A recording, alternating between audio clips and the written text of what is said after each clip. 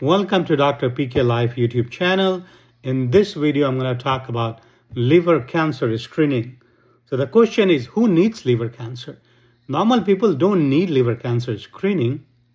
Yes, it's only for high risk people. Who are those people?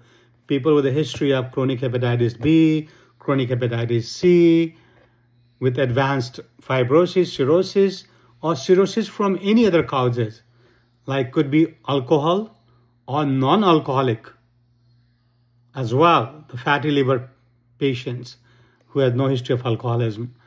Uh, hematochromatosis, which is a um, iron storage uh, disease, too much iron in the liver. Certain genetic and metabolic um, conditions like anti-alpha 1 antitrypsin deficiency or Wilson's disease, which is a copper um, uh, metabolic related disease of the liver. So what are the main screening modalities? Ultrasound of the abdomen, that's the first line, every six months. Non-invasive, widely available, inexpensive, detects focal liver lesion.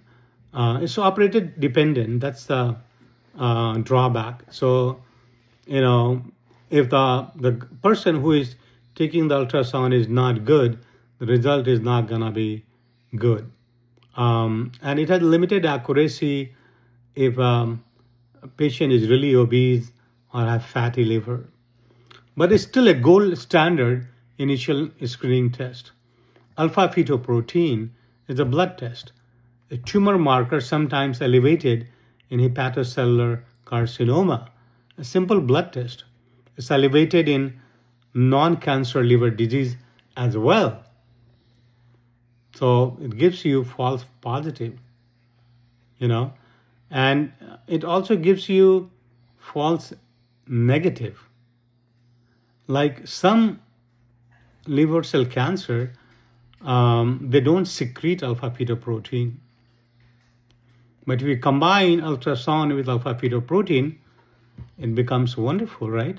Because it's going to improve sensitivity compared to either test alone and you can check it every six months. And it's recommended by AASLD and EASL for high-risk patients. CT scan and MRI uh, with contrast. So most accurate for characterizing liver lesion. Cons, it's expensive. Radiation exposure, contrast risk.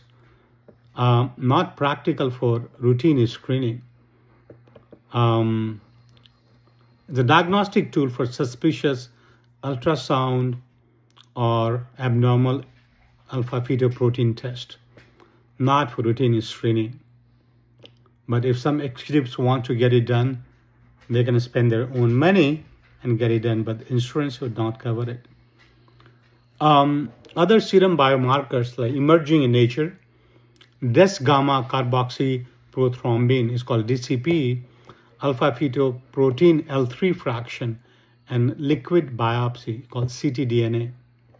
They may improve early detection, but they're experimental, not widely available, and they are in research stage only.